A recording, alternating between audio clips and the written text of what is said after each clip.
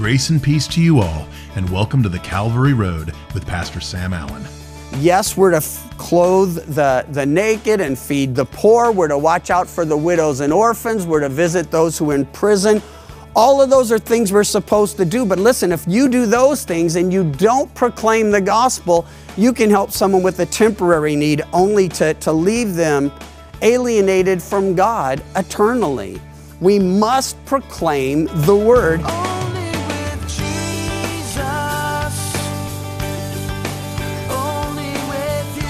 Happy Friday! In today's broadcast, we have part two of Pastor Sam's message entitled Jesus is Alive The Rest of the Story. This is our final broadcast in the book of Luke, considering the appearances of Jesus after the resurrection and before his ascension. Thank you for joining us through this wonderful book, and we look forward to taking you through the Gospel of John, which is next. So, let's listen in. Eight days, by the way, would go by before Jesus appears to these guys again. First time Thomas wasn't with them. He was AWOL, doesn't say where he was or why he wasn't there, but we know he wasn't there. And when the disciples tell Thomas, We've all seen him, he says, I'm not going to believe unless I can see the wounds and put my hands into him. He's sort of like, I got to handle him or I won't believe it. Well, I, I'm intrigued by the fact that Jesus tells the others, Handle me and see. He understands it was a lot to ask. They didn't recognize him. They struggled to believe it was really him. They wanted to believe it, but they struggled to believe it. So, eight days later, Thomas shows up and, and he's with the disciples. And, and this takes us back again to John 20. So, if you'd go over there for a moment with me, John 20, 26, as eight days have gone by. Thomas now with the disciples. Jesus came, the doors being shut. Similar situation. He stood in the midst. He says, as he had a week earlier, peace to you. And then he said to Thomas, Reach your finger here and look at my hands, and reach your hand here and put it into my side. Do not be unbelieving, but believing. And Thomas answered and said to him, My Lord and my God. And Jesus said to him, Thomas, because you've seen me, you have believed. Blessed are those who have not seen and yet have believed. Two things about this particular um, section. Thomas says, My Lord and my God. It's so important. There are some who will say, well, Jesus never claimed to actually be God, just the Son of God or an ambassador of God. No, Jesus claimed to be God. In fact, his enemies fully grasped that. That's one reason they would try to kill him, and they did numerous times. They failed, of course, until it came to the cross. Why? Because the Old Testament had already prophesied it would be like that. But, but, but here's the point. If Jesus were not God, he would have told Thomas, hey, the Lord thinks cool, but don't call me God. Why? No one is to be worshiped as God but God. And Jesus is the Son of God and God the Son. So Thomas says, My Lord and my God. Again, it's not enough to believe He's the Lord or even that He's God. He needs to be your Lord and your God. The other issue here is He says, Blessed are those who've not seen and believed. And that is a blessing, a beatitude pronounced on us. With, um, well, I would say with few exceptions and maybe with none. Uh, most of us would say, "Hey, I, have never seen him, not not not in reality," and, and and but but I believe. I believe because of His Word. I believe because He's spoken my name, because He's opened my eyes, because He's walked with me and opened the Scriptures to me. Oh, that's what was happening with them. You see.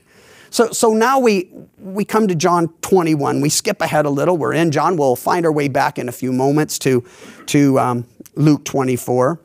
But as followers of Jesus, we're going to see that we are to be engaged primarily in the ministry of proclamation, preaching that Jesus died for our sins, was buried, and rose again, sharing the good news of the gospel, and the ministry of restoration.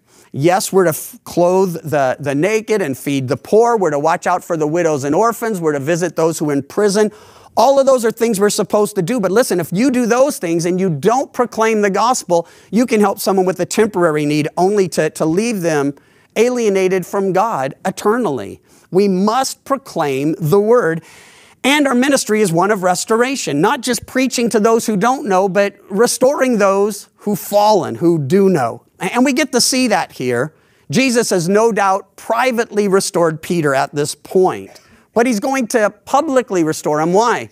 His desires for, his intentions for Peter haven't changed at all. Peter failed him, but there's no plan B when it comes to Jesus' plan for Peter's life.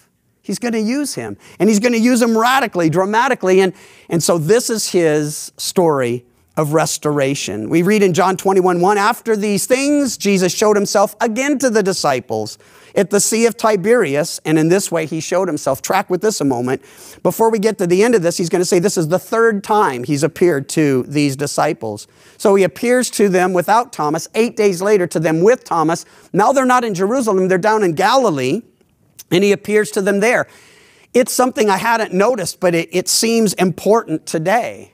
And that is, it's not like Jesus was showing up every single day to meet with these guys.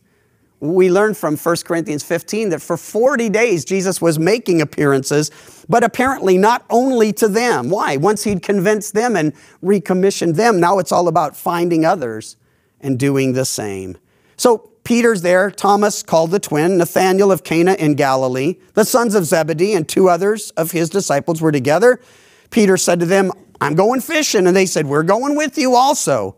So they went out and immediately got into the boat, and that night they caught nothing. It's a simple reminder. Jesus says, Apart from me, you can do how much? Nothing. Does anybody believe that though? I, I mean, I know you're going to say, oh, yeah, we, we do. He says it. Of course we believe it. But I've noticed we try to do a whole lot of things and we fail, and then we wonder, why didn't that work? Because if it's not His work in us and through us, it's not going to be fruitful now that we've surrendered our lives to Him. We just can't go back to what we used to do, even if we were successful at it. And if you don't believe without Him, you can do nothing. Well, listen, there are only two ways to learn that lesson. Learn it by hearing it and believing it, or you'll learn it the hard way. And, and, and so, either way, you will learn. Apart from Him, nothing. Now, I can do all things, we also read in Scripture, through Christ Jesus, who strengthens me. And it's relatively simple. He tells me what to do, I obey Him, and whatever He wants to accomplish through me, it's going to happen. And that's what happens here. He's on the shore. They're out fishing. They haven't caught anything. And, and it says, when morning had come, verse 4, Jesus stood on the shore. The disciples didn't know it was Jesus. Jesus said to them, Children, have you any food? And they said, No. I kind of like how he asked the question. He didn't say, You catching anything? That's just a bummer to ask a fisherman who hasn't you know. But he goes, You guys got anything to eat? And they're like, No.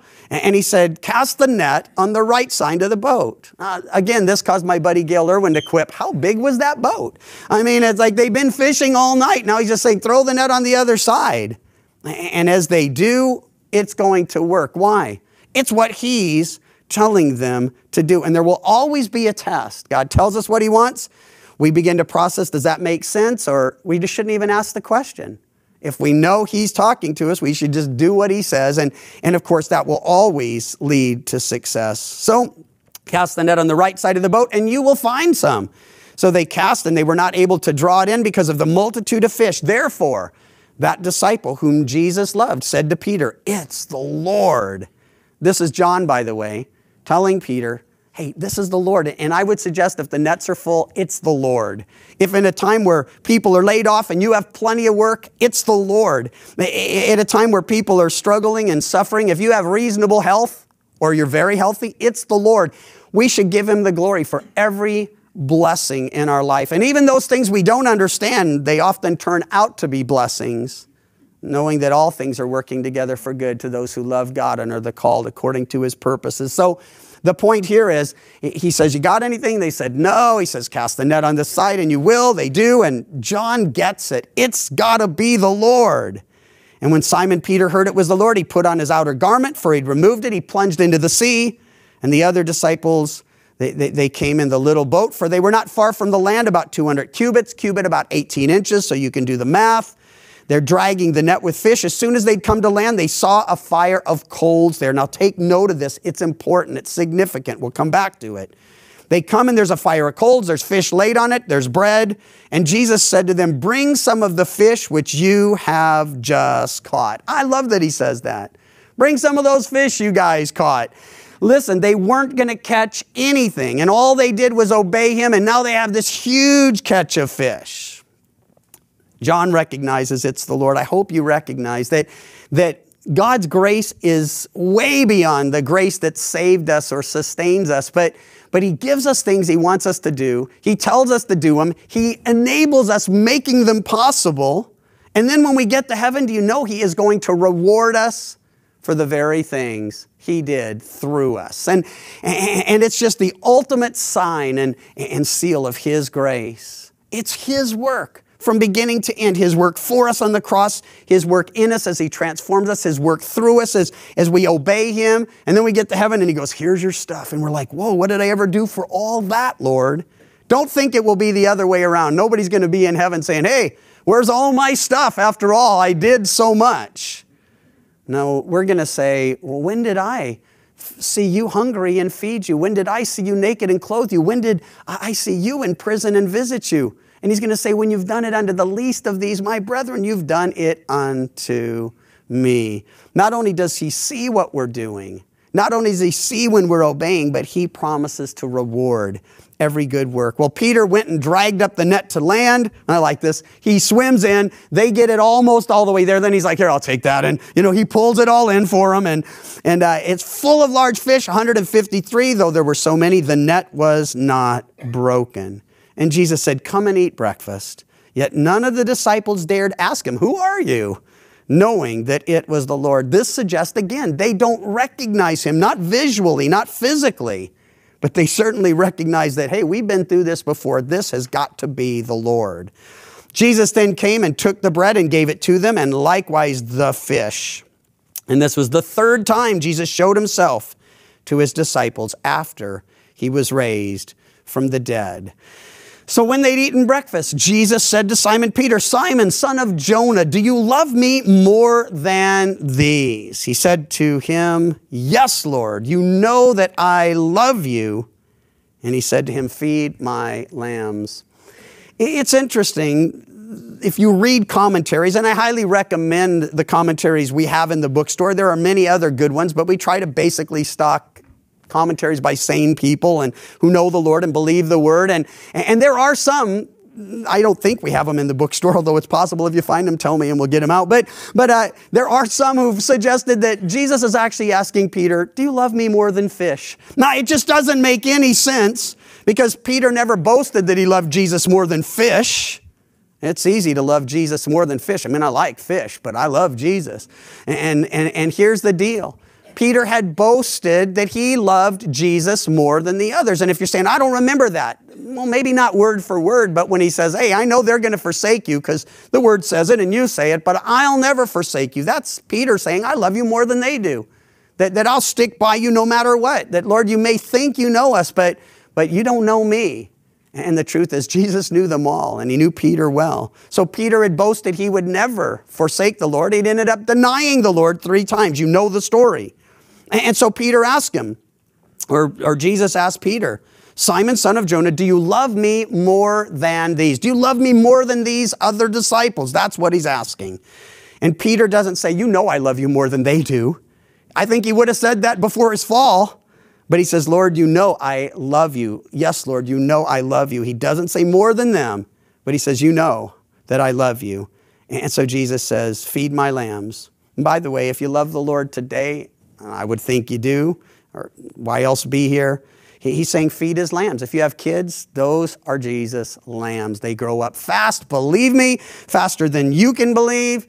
And if you have two in diapers or three or four and they're all under five and you're thinking they ain't growing up fast, I just like every day is like 48 hours long. And, and, and uh, no, listen, it will pass so quickly. And you mainly hear this from white haired people, but, but we've got some wisdom and experience. And, and so I want to encourage you if you have them, the little lambs, feed those lambs. Invest in them spiritually. Nothing will be more important to you later, so nothing should be more important to you now. And then he said a second time, Simon, son of Jonah, do you love me? And he said, Yes, Lord, you know that I love you. And he said, Tend my sheep. So feed my lambs, tend my sheep. And he said to him a third time, Simon, son of Jonah, do you love me? Peter was grieved because he said to him the third time, Do you love me? And he said to him, Lord, you know all things. You know that I love you. And Jesus said to him, Feed my sheep. Now it said Peter was grieved that he said to him the third time. And there are a couple reasons for this. First of them, I believe, is, is very obvious and simple. Where was Peter when he denied the Lord? He was at the enemy's fire. Where is he now? He's sitting at a coals of fire. And, and you know, images like that, they have a way of bringing back those last time or other times where you've been in a similar situation. And so, no doubt, Peter's having a little bit of a deja vu. And, and it's one of those things where Jesus is bringing it up because he really wants Peter to deal with it, to put it away, to know it's truly forgiven and forgotten. He wants the other disciples to know the same. So he's at the coals of fire. And even as he denied the Lord three times, now the Lord gives him three times to affirm his love for him. And that's exactly what he's doing. But it said he was grieved when he said the third time. Now, another reason for this is a little more subtle. It's in the language of the original documents. Jesus uses a word when he says, Do you love me? that we're well familiar with. It's, it's the word agape. It's the word for God so loved the world, he loved the world, agape, that he gave his only begotten Son, that whoever believes in him should not perish but have everlasting life. It speaks of an unconditional sacrificial love. And so Peter is being asked by our Lord, Do you love me like that, sacrificially, unconditionally, more than these other disciples love me? And Peter doesn't say, You know, I love you more than them. He doesn't even say, I agape you, Lord. He says, I, I philos you, or uh, phileo, or, or, or it, it's, there are various forms of the word looking at how it's used, but, but it all comes down to this. Eros speaks of erotic or sensual physical love. Phileo speaks of our, our brotherly love, our common affection, our family love. And, and then agape speaks of that perfect love that God demonstrates toward us and wants us to share with one another. We need to know He is the only source of that kind of love, though, so that's why it's essential we're abiding in Him if we want to bear that kind of fruit. So He says, Do you love me unconditionally, sacrificially, perfectly? And Peter says, Well, I'm really fond of you, Lord. I really have a lot of affection for you. And I like that. He's just being honest. And, and that's all the Lord's asking from any of us. You know, I, I got a buddy I went to high school with. Some of you've heard him. His name's Leo Giovinetti. We, we actually met in 1967. We played in the bars with phony IDs before we were old enough to be in the bars. And, and now we're both pastoring, which is a miracle in and of itself. But in the early years of our Christian experience together, he had a band called the Agape Brothers, and I played bass in it for a while. And I told him at one point, Leo, I got to break off. And he's like, why? I go, I just can't claim this agape thing anymore. I mean, I'm reading John, and, and he's like, he's all about this, so I'm going to break off and start the Phileo Brothers and uh, first CD, Filet of Soul, you know, and get back into my roots. And but anyway, that's sort of a joke, but not completely. Uh, we had conversations like this, which tells you a lot about how weird we were and are even as Christians. And if you get down to San Diego, by the way, Mission Valley Christian Fellowship, Leo Giovinetti, look him up. You won't be disappointed. But Jesus asked Peter, you know, is that the kind of love you have for me? And Peter doesn't say, I love you more or I love you perfectly. He just says, I have all the affection that, that I can for you, Lord. And he asked them a second time the same question, the same words are used. And then he asked them the third time, and, and it said he was grieved the third time because, well, Jesus comes down to Peter's word. And I think it's an important question for us to ponder today. We, we wouldn't be so foolish as to say, I have perfect love for you, Lord. I want to. But, but what he's really asking Peter at this point, and I think he would be asking us as well, is your affection for me primary? And in other words, do, do you have, do you really have affection for me? Or, or is it spread a, abroad? And, and, and, and here's why this is so important. Our love for him has to be so great that, that our love for others, well, it pales in comparison. Now, don't worry, you'll be a better husband, a better father, or a better mother, and, and a better child, a, a better friend. If Jesus is first, if he's on the throne, if your love for him is primary, well, he'll be a source of love that you can pass on to others. So they don't get less, they get more, but he has to be first. And if you love him, here's a test Are you feeding his lambs? Are you tending his sheep? Are you feeding his sheep? Well, Peter says something I think probably even Jesus was floored to hear Lord, you know all things. Who would have thunk that could ever come out of Peter's mouth? But here it is, Lord, you know all things. The one who said, Lord, you don't know. You don't know me. You don't know what's going to happen. I won't let that happen to you. And now he's saying, Lord, you know all things. I hope you come that far. Well, back in Luke, and we have to get back there because we need to conclude. Luke 22 44, he says to them, We're back with the disciples. These are the words I spoke to you while I was still with you, that all things must be fulfilled, which were written in the law of Moses and the prophets and the Psalms concerning me. And he opened their understanding that they might comprehend the scripture. This is my continuing prayer for me, for you, for those we are reaching out to and sharing with, that Jesus will open the eyes of our heart to see Him, that He would open our understanding to really comprehend His Word.